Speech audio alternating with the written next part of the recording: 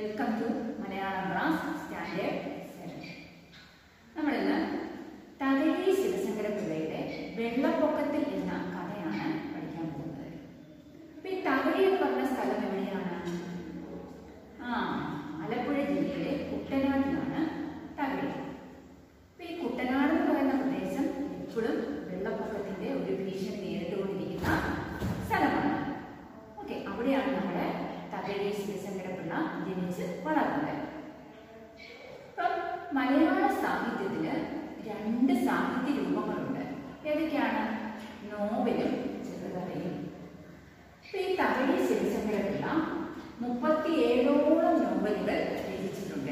അതുപോലെ തന്നെ അഞ്ഞൂറോളം ചെറുകഥകളും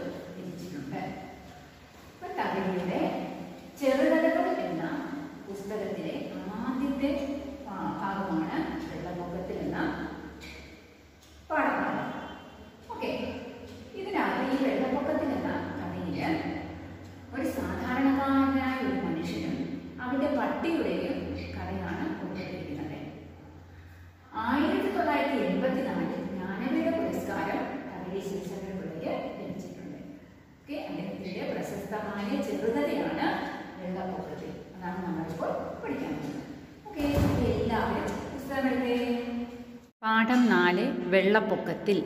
ഓക്കെ? അപ്പോൾ ഈ കഥയിലെ പ്രധാന കഥാപാത്രങ്ങൾ ചേനനും അവന്റെ പട്ടിയുമാണ്. ഓക്കെ? അപ്പോൾ ഈ കഥ തുടങ്ങുമ്പോൾ കഥാകാരൻ ചേന്നന്റെ വീടിനടുത്തുള്ള ക്ഷേത്രത്തിൽ അഭയം തേടിയിരിക്കുന്ന ജീവികളുടെയും മനുഷ്യരുടെയും സ്വഭാവവിശേഷം പറയുകയാണ്. ഓക്കെ? നാട്ടിലെ പൊക്കം കൂടിയ സ്ഥലം ക്ഷേത്രമാണ്. അവിടെ ദേവൻ കഴുത്തറ്റം വെള്ളത്തിൽ നിൽക്കുന്നു. വെള്ളം സർവത്ര വെള്ളം. അപ്പം നാട്ടിലെ ഏറ്റവും പൊക്കം കൂടിയ സ്ഥലം ഏതാണ്? ക്ഷേത്രമാണ്. അവിടെയാണല്ലോ ദേവൻ കഴുത്തറ്റം വെള്ളത്തിൽ നിൽക്കുന്നു.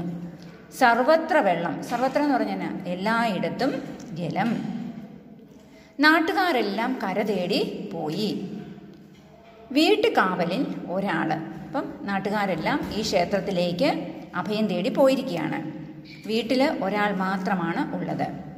വീട്ടിൽ വള്ളമുണ്ടെങ്കിൽ ഉണ്ട്. ക്ഷേത്രത്തിലെ മൂന്ന് മുറിയുള്ള മാളികപ്പുറത്ത് അറുപത്തിയേഴ് കുട്ടികളുണ്ട്. മുന്നൂറ്റി അൻപത്തിയാറ് ആളുകൾ പട്ടി പൂച്ച ആട് കോഴി മുതലായ വളർത്തു മൃഗങ്ങളും എല്ലാം ഐകമത്യമായി കഴിയുന്നു. ഐകമത്യം എന്ന് പറഞ്ഞാൽ എന്നാ? എല്ലാവരും ഒരുമയോടുകൂടി കഴിയുന്നു. ഒരു ചണ്ടയുമില്ല ഇപ്പോൾ വെള്ളപ്പൊക്കം വന്നപ്പോൾ എല്ലാവരും പട്ടിയെയും പൂച്ചയെയും ആടിനെയും കോഴിയെയും എല്ലാം കൊണ്ട് അവർ കരപറ്റി എവിടെയാ? കര തേടി എവിടെയാണ് പോയത്? ഈ ക്ഷേത്രത്തിൽ ആണ് പോയിരിക്കുന്നത്. അവിടെ മാത്രമേ വെള്ളമില്ലാതുള്ളൂ. ബാക്കി എല്ലായിടത്തും വെള്ളമാണ്. നിങ്ങൾക്ക് വെള്ളപ്പൊക്കത്തെക്കുറിച്ച് അറിയത്തില്ലേ? വെള്ളപ്പൊക്കം ഉണ്ടായാൽ എന്തൊക്കെയാണ് സംഭവിക്കുന്നതെന്ന്? ആ അതുപോലെ നാട് മുഴുവൻ വെള്ളമായി ഇരിക്കുകയാണ്. ചേന്നൻ ഒരു രാത്രിയും ഒരു പകലുമായി വെള്ളത്തിൽ തന്നെ നിൽക്കുന്നു. ആ നമ്മുടെ ഈ കഥയിലെ മെയിൻ കഥാപാത്രമാണ് ചേന്നൻ. ചേന്നൻ ഇതുവരെ രക്ഷപ്പെട്ടില്ലല്ലേ? അവർ ഒരു രാത്രിയും ഒരു പകലുമായി വെള്ളത്തിൽ തന്നെയാണ് നിൽക്കുന്നത്. അവന് വള്ളമില്ല. ആ വള്ളമില്ലാത്തതുകൊണ്ട് അവന് രക്ഷപ്പെടാൻ പറ്റുന്നില്ല. അവന്റെ തമ്പുരാൻ മൂന്നായി പ്രാണനും കൊണ്ട് കരപറ്റിയിട്ട്.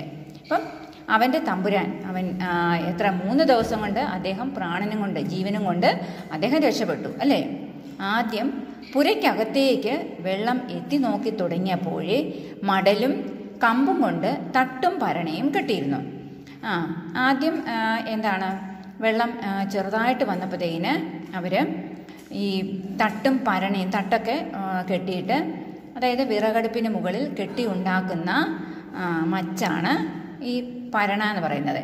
അതൊക്കെ ഉണ്ടാക്കി അതിന് മുകളിൽ കയറിയിരുന്നു. വെള്ളം പെട്ടെന്ന് ഇറങ്ങുമെന്ന് കരുതി. അവർ വിചാരിച്ചു ഈ വെള്ളം പെട്ടെന്ന് ഇറങ്ങിപ്പോകുമെന്ന് രണ്ട് ദിവസം അതിൽ കുത്തിയിരുന്ന് കഴിച്ചുകൂട്ടി കൂടാതെ നാലഞ്ച് വാഴക്കുലയും തുറുവും കിടക്കുന്നു. അവിടെ നിന്ന് പോയാൽ അവയെല്ലാം ആണുങ്ങൾ കൊണ്ടുപോവുകയും ചെയ്യും. ഇപ്പോൾ തട്ടിന്റെയും പരണി പരണിന്റെയും മുകളിൽ മുട്ടറ്റം വെള്ളമുണ്ട്. മേൽക്കൂരയുടെ രണ്ട് വരി ഓല വെള്ളത്തിനടിയിലാണ്. അകത്ത് കിടന്ന് ചേനൻ വിളിച്ചു. ആര് വിളി കേൾക്കും? അടുത്താരുണ്ട്. ഗർഭിണിയായ ഭാര്യ നാല് കുട്ടികൾ ഒരു പൂച്ച ഒരു പട്ടി ഇത്രയും ജീവികൾ അവനെ ആശ്രയിച്ചിട്ടുണ്ട്.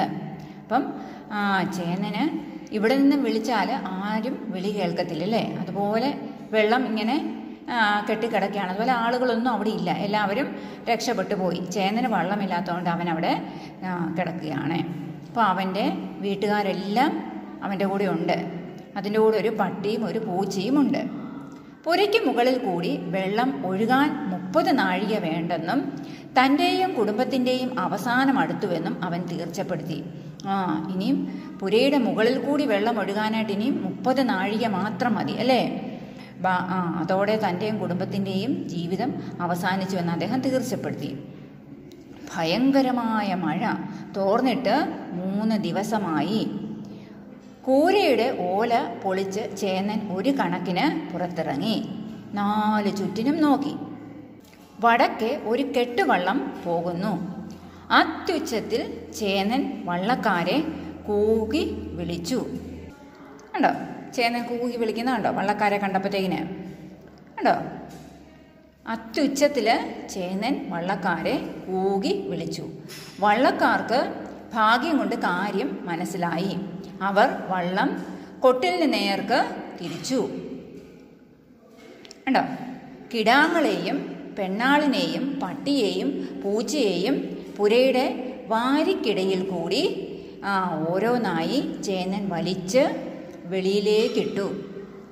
അപ്പോഴേക്കും വള്ളവും വന്നെടുത്തു. കിടാങ്ങൾ കിടാങ്ങൾ എന്ന് പറഞ്ഞാൽ കുട്ടികൾ വള്ളത്തിൽ കയറിക്കൊണ്ടിരിക്കുകയാണ്. ചേന്നച്ചോ പൂഹോയ് പടിഞ്ഞാറ് നിന്ന് ആരോ ആ വിളിക്കുന്നു. ചേന്നൻ തിരിഞ്ഞു നോക്കി. ഇങ്ങ വായോ. അത് മടിയത്തറ കുഞ്ഞേപ്പനാണ്.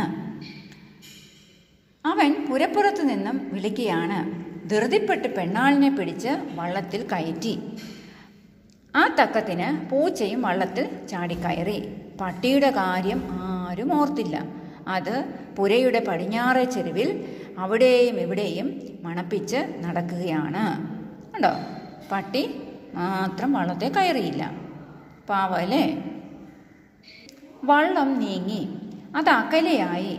പട്ടി മുകളെടുപ്പിൽ തിരിച്ചു വന്നു. ചേന്നന്റെ വള്ളം അകലെയായി കഴിഞ്ഞു. അത് ആ പറന്നു പോകുന്നു. മരണവേദനയോടെ ആ ജന്തു മൂങ്ങിത്തുടങ്ങി. മൂങ്ങുക എന്ന് പറഞ്ഞാൽ എന്താ? കരയുക. അല്ലേ? അപ്പം ചേന്നന്റെ ആ വള്ളം അങ്ങ് നീങ്ങി തുടങ്ങി. പട്ടിക്ക് മാത്രം രക്ഷപ്പെടാൻ പറ്റിയില്ല. നിസ്സഹായനായ ഒരു മനുഷ്യന്റെ ശബ്ദത്തോടെ ശബ്ദത്തോട് സാദൃശ്യമുള്ള ശബ്ദ പരമ്പരകൾ പുറപ്പെടുവിച്ചു. ആരുണ്ടത് കേൾക്കാൻ? ആ വള്ളം അങ്ങ് അകന്നു പോയി പട്ടി ഇവിടെ കിടന്ന് കരഞ്ഞിട്ട് ആരും കേൾക്കുന്നുണ്ടോ? ഇല്ല. പുരയുടെ നാല് ചരിവുകളിലും അത് ഓടി നടന്നു. ചിലയിടമെല്ലാം മണപ്പിച്ചു മൂങ്ങി. സ്വൈര്യമായി പുരപ്പുറത്തിരുന്ന ഒരു തവള അപ്രതീക്ഷിതമായി ബഹളം ബഹളം കണ്ട് പേടിച്ചു പേടിച്ചു.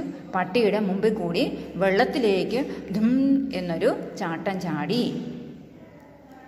സ്വൈര്യം എന്ന് പറഞ്ഞാൽ സ്വസ്ഥമായിട്ടിരുന്ന ഒരു ആ തവള. തവള സ്വസ്ഥമായിട്ട് അവിടെ ഇരിക്കുകയായിരുന്നു അല്ലേ? അപ്പോൾ ഈ പട്ടിയുടെ കരച്ചിൽ കേട്ടപ്പോൾ തവളയ്ക്ക് പേടിയായിട്ട് തവള പെട്ടെന്ന് വെള്ളത്തിലേക്ക് എടുത്ത് ചാടി. ആ നായ ആ ചാട്ടം കണ്ടപ്പോഴത്തേന് നായ പെട്ടെന്ന് ഞെട്ടിപ്പോയി അല്ലേ?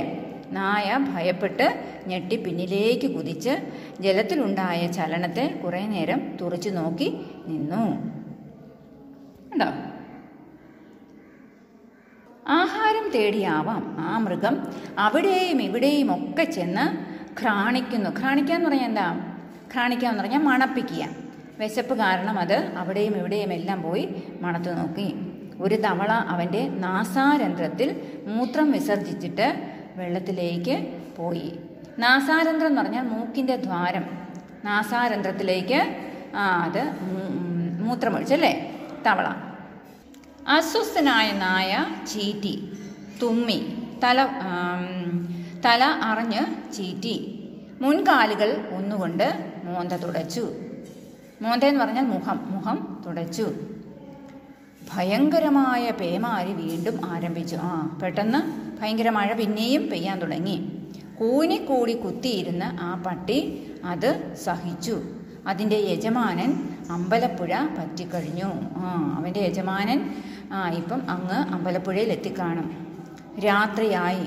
ഒരു ഉഗ്രനായ നക്രം ജലത്തിൽ പകുതി ആണ്ട് കിടന്ന ഒരു ആ കുടിലിനെ ഉരസിക്കൊണ്ട് മന്ദം മന്ദം ഒഴുകിപ്പോയി. ഇപ്പോൾ രാത്രിയായപ്പോഴത്തേക്കിന് ഉഗ്രനായ നക്രം നക്രം എന്ന് പറഞ്ഞാൽ എന്താ? മുതല. ഉഗ്രൻ എന്ന് പറഞ്ഞാൽ ഭീകരനായ ഒരു മുതല. ജലത്തിൽ പകുതി ആണ്ട് കിടക്കുന്ന ആ കുടിലിനെ ഉരസിക്കൊണ്ട് മന്ദം മന്ദം ഒഴുകിപ്പോയി. ഭയചകിതനായി വാൾ താഴ്ത്തിക്കൊണ്ട് നായ കുരച്ചു. നക്രം യാതൊന്നും അറിയാതെ അറിയാത്ത ഭാവത്തിൽ അങ്ങൊഴുകിപ്പോയി. ഭയചകിതൻ എന്ന് പറഞ്ഞാൽ? ഭയ ഭയ ഭയക്കുന്നവൻ അല്ലേ? ഓക്കെ. മുകളിടപ്പിൽ കുത്തിയിരുന്ന് ആ ക്ഷുത്പീഡിതനായ മൃഗം കാർമേഘാവൃതമായ അന്ധകാരഭീകരമായ അന്തരീക്ഷത്തിൽ നോക്കി മൂങ്ങി. ഷുൽ പ്രീഡിതൻ പറഞ്ഞാൽ ഷുൽ പ്രീഡിതൻ പറഞ്ഞാൽ എന്താണ്? വിശപ്പ് സഹിക്കാൻ വയ്യാത്തവൻ. ഓക്കെ അതുപോലെ തന്നെ കാർമേഹാവൃതം എന്ന് പറഞ്ഞാൽ എന്താ? കാർമേഹം മൂടിയ അന്ധകാരം. അന്ധകാരം എന്ന് പറഞ്ഞാൽ ഇരുട്ട്. അന്തരീക്ഷത്തിൽ നോക്കി പട്ടി മൂങ്ങി ആ നായയുടെ ദീനരോധനം അതിദൂര പ്രദേശങ്ങളിലെത്തി. അനുകമ്പാതുരനായ വായു ഭഗവാൻ അതിനെയും വഹിച്ച് കൊണ്ടുപാഞ്ഞു. അപ്പം നായ കരയുന്നത് അങ്ങനെ അങ്ങ് ദൂരെ വരെ കേൾക്കാൻ സാധിച്ചു. വീട് കാവലേറ്റിട്ടുള്ള ചില ഹൃദയാലുക്കൾ അയ്യോ പുരപ്പുറത്തിരുന്ന് പട്ടി മൂങ്ങുന്നു എന്ന് പറഞ്ഞു കാണും. കടപ്പുറത്ത് അതിന്റെ യജമാനൻ ഇപ്പോൾ അത്താഴമുണ്ണുകയായിരിക്കും. പതിവനുസരിച്ച് ഊണ് കഴിയുമ്പോൾ ഇന്നും എന്നും ഇന്നും ഒരു ഉരുള ചോറ് അവൻ അതിന് ഉരുട്ടുമായിരിക്കും. ഓക്കെ. ഇത്ര നിങ്ങൾക്ക് മനസ്സിലായോ? ഇനി നമുക്ക് ഇതിന്റെ ബാക്കി ഭാഗം നമുക്ക് അടുത്ത ക്ലാസ്സിൽ പഠിക്കാം. ഇത്ര നമ്മൾ പഠിച്ചത്രയും ഭാഗം നിങ്ങൾ നന്നായിട്ട് വായിച്ചു നോക്കുക. ഓക്കെ.